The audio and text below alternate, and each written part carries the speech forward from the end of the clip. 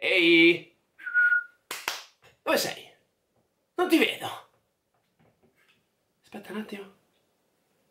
Eccolo! Interista col progetto 89 nei commenti. È tornato il leccaculo juventino con il Milan, perché tanto dirai che sono così le due squadre, no? A livello di tifo. E invece, cosa te vengo a dire? che come durante l'anno se c'era da fare un e evidenziare i pregi per le partite di Napoli e Inter eh, in campionati in Europa, oggi lo faccio tranquillamente col Milan e se sono stato ripetitivo in qualche video fa e oggi mi ripeto nel dire certi concetti, come l'avevo fatto con Pulisic, oggi io, con il nuovo acquisto del Milan, che ne porterà ancora un altro dietro di sé, io non posso che non fare gli applausi a questo calciomercato, perché un mese fa Testa e corna, tifosi, opinione pubblica, stampa e anche stessa dirigenza tempestata di insulti. Maldini via, Tonali via. Ma un mese dopo, precisamente, che succede?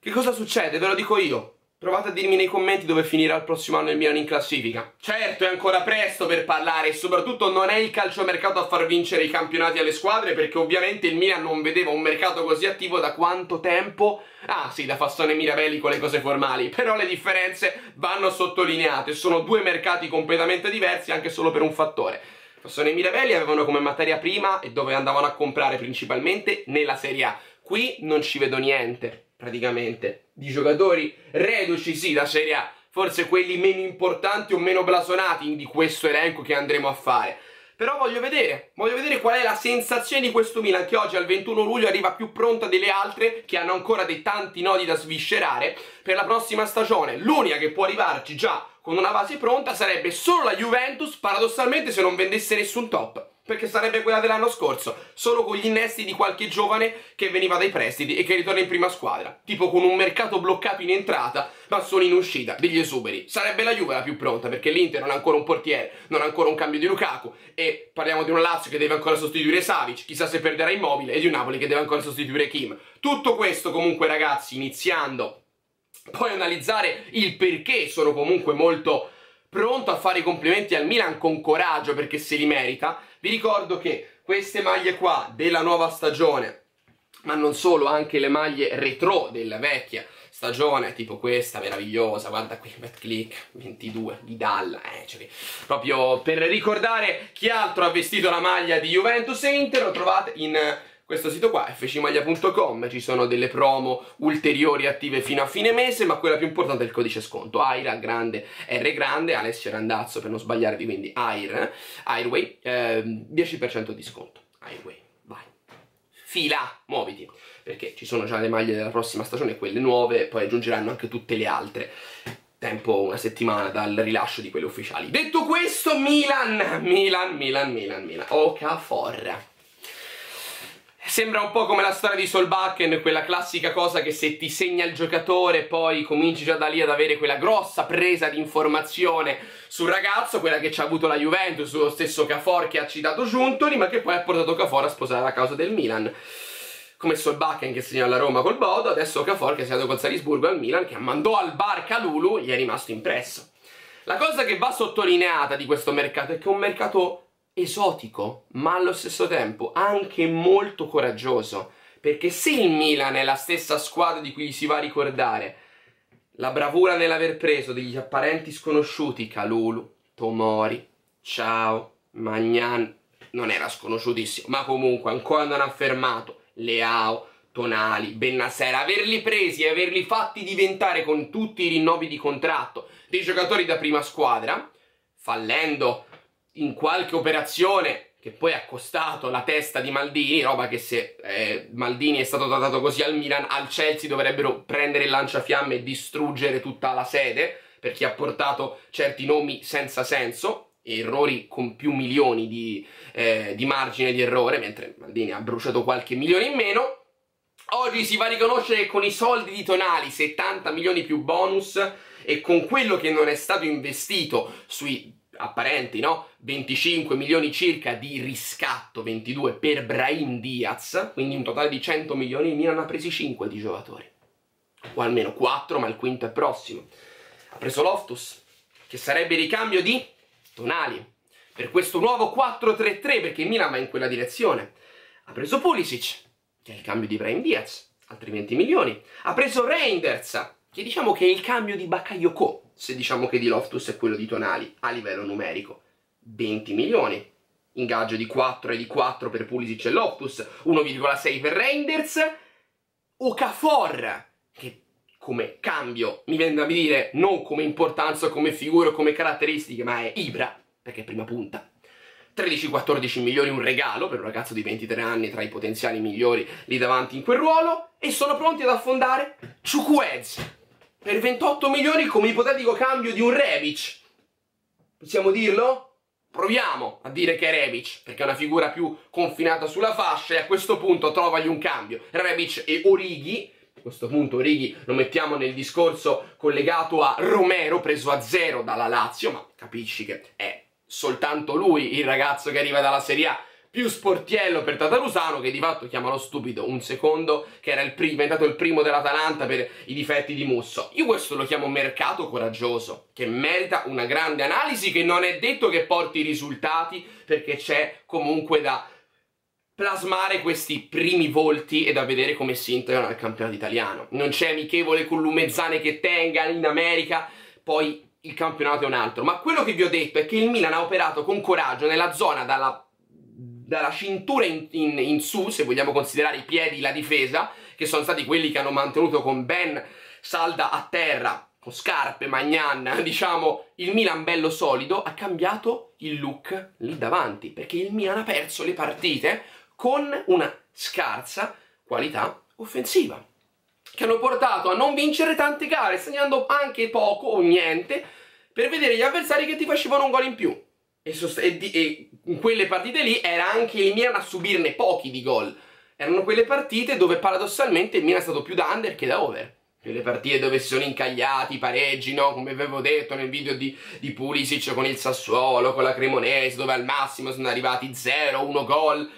anche le stesse partite in Champions League dove il risultato del Milan chiaramente appena la vedevi in campo era una squadra che aveva una grande organizzazione difensiva, un grande gruppo, tutti affiatati l'un l'altro e adesso il Milan prova a cambiare e a rimodellarsi. Hai preso letteralmente un mediano box to box, hai preso un Reinders che è un giocatore che ha qualità offensiva di pensiero e di visione, invece Tonali ti, va, ti andrà sicuramente nell'immediato a rendere il Milan una squadra un pochino più forse esposta a subire gol, ti prende Pulisic, un giocatore che era all'epoca uno dei migliori cambi del Chelsea, uno dei migliori, un, a spaccare la partita a gare in corso, che nello scacchiere del 4-3-3 ad oggi me lo metteresti come riserva di Leao, che poi dire riserva in una squadra dove si veniva a criticare il fatto che Pioli si girasse, si voltasse, non vedesse niente dietro di sé, adesso già pensare che se gli arrivasse anche un Ciuquezze è girandosi che vede Messias è diverso da dire che sei obbligato a schierare sempre Messias e Salemacher che avevi un Righi, che avevi un Rebic che non ti hanno aiutato, hai fallito. Hanno fallito questi giocatori, non hanno rispettato le pretese che poi non ce l'avevano mai a livello di nome. Questi giocatori allora provano con coraggio a rifare tutto tenendo i giocatori più importanti, sacrificandone in questo caso mi viene da dire solo uno cioè, sarebbe stato clamoroso a questo punto se avessero fatto lo stesso mercato se fosse arrivata la stessa offerta per Magnan, che comunque rimane uno dei migliori portieri in Europa. Quindi a questo punto, a livello di sacrificio, che cosa potevi perdere sacrificando meno della tua rosa? Teo, uno dei migliori terzini sinistri al mondo? No, in difesa perché eh, dici siamo abbastanza bravi anche se ne perdiamo uno tra Tomori, Calulu e ciao? No! Hanno voluto cambiare lì, perché è uno di quei giocatori che fa da equilibrio tra centrocampo e attacco, tra difesa e attacco, tonali. Allora no, sacrificando lui, che è un giocatore che dovrà ancora dimostrare tanto al Newcastle, vediamo se prenderà la squadra sulle spalle per quello che è stato pagato, nonché il giocatore italiano più caro della storia del calcio, quindi è una cifra giustissima per la quale non ci sono obiezioni che Milan abbia fatto bene o male, si assicurano la possibilità e la voglia di rendere il Milan un'altra squadra, una squadra che poi dovrà trovare gli ingranaggi, dovrà trovare il modo in cui rendersi, riuscirà a innescare la prima punta, in cui Loftus riuscirà in questo campionato a essere bravo, andare avanti indietro a fare la doppia fase, in cui Pulisic riuscirà, magari non essendo un giocatore particolarmente fisico, a incidere in questa Serie A, lo stesso Cafor, perché è un giocatore con caratteristiche diverse dalle punte che in Serie A di solito fanno la fortuna, belle grosse, bei, bei tronconi,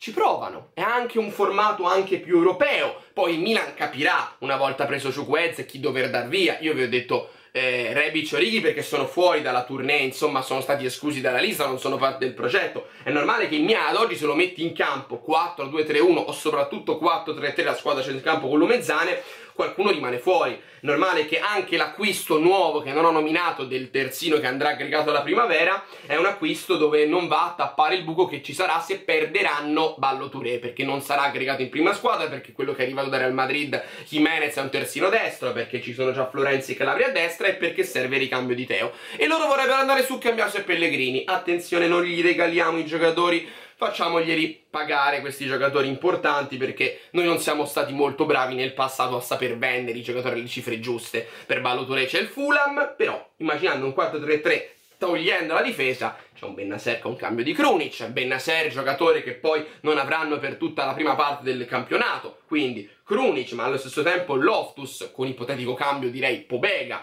Reinders dall'altra parte e forse uno rispolverato Adli, magari un rivisitato De Keteler da quella zona di campo se non dovesse arrivare la cessione.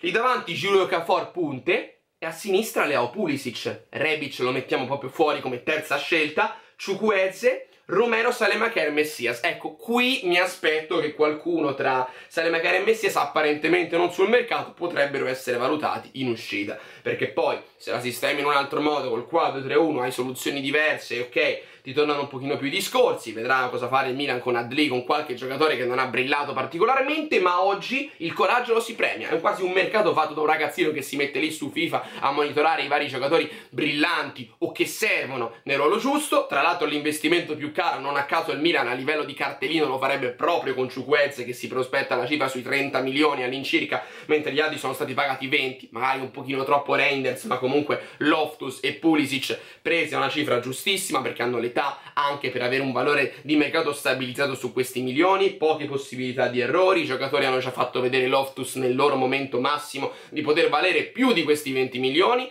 a 26 anni può fare ancora bene, Pulisic lo stesso è un giocatore che va saputo capire perché è una grandissima gemma del nostro campionato, e Okafor scelta coraggiosa, scelta particolare per un Milan che ha, già scelto la figura dell'extracomunitario da prendere, in questo caso Ciuqueze, scartando i vari Taremi e nel caso non da Yuma che è andato comunque all'Everton, ma è normale, in un mercato in cui si fanno fatti mille accostamenti, lo stesso addirittura Adama è stato accostato, ci sono dei giocatori che poi si possono scartare, scegliere o valutare Samarzic, Morata, Scamacca. Io credo che un milanista a cui gli veniva proposto Scamacca, Morata, Taremi piace l'esoticità di Okafor, perché questo è come caratteristiche, come giocatore particolare e secondo me giusto nel contesto Milan, sempre sui giovani.